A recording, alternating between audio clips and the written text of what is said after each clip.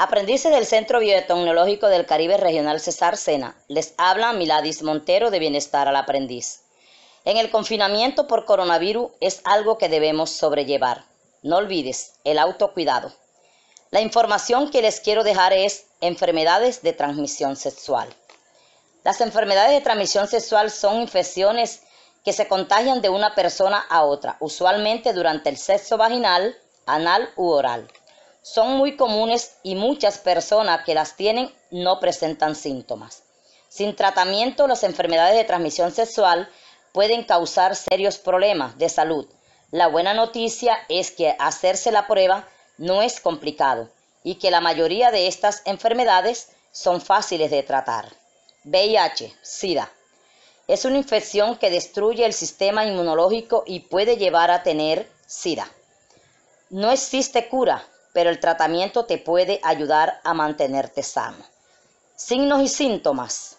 Dolor de cabeza, garganta irritada, punticos rojos o heridas en la piel, tos seca, diarrea, náuseas y vómitos, dolor en los músculos, uñas gruesas, dolor en las articulaciones. La gonorrea es una infección bacteriana común que se cura fácilmente con antibióticos se transmite por vía sexual y la mayoría de las personas que la padecen no tienen síntomas. Síntoma, los hombres, ardor o dolor al orinar, secreción en el pene de color blanco, amarillo o verdoso, inflamación o dolor en los testículos, aunque este síntoma es menos frecuente.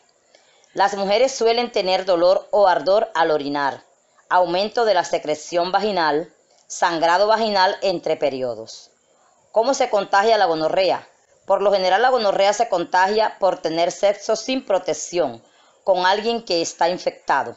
Se propaga cuando el semen, el líquido preyaculatorio y las secreciones vaginales entran en contacto con los genitales, el ano, la boca o ingresan en estos. La gonorrea se transmite aún cuando el pene no penetra completamente en la vagina o en el ano.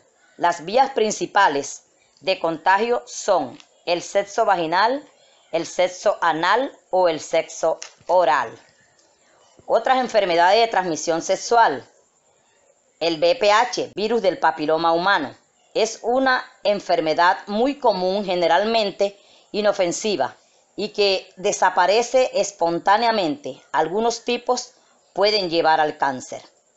Piojos púbicos, también llamados ladillas, son pequeños parásitos que se adhieren a la piel y al vello del área genital. Se eliminan fácilmente con un tratamiento que puedes adquirir en la farmacia. Sífilis es una infección bacteriana común. Se cura fácilmente con medicamentos, pero puede ser peligroso si no se trata a tiempo. No olvides, cuídate. Eso depende.